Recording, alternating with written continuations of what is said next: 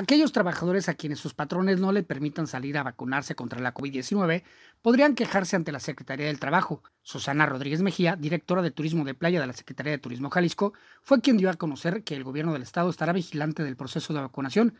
Asimismo, informó que aquellas personas a las que no se les permita acudir a vacunarse podrán interponer su queja ante la Secretaría del Trabajo, pues es una obligación del patrón el permitir acudir a la inoculación, además que de no permitirlo, se estarían autoperjudicando.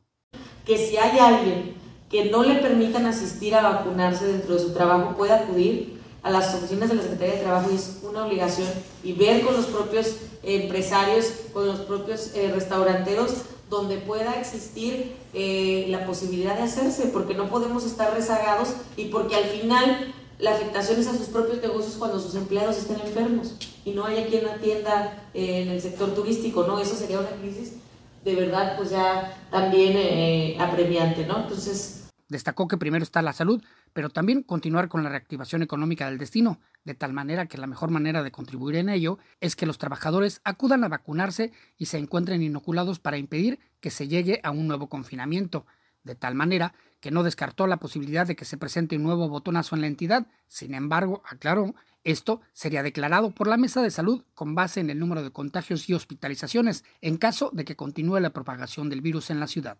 Señal informativa Javier Frías.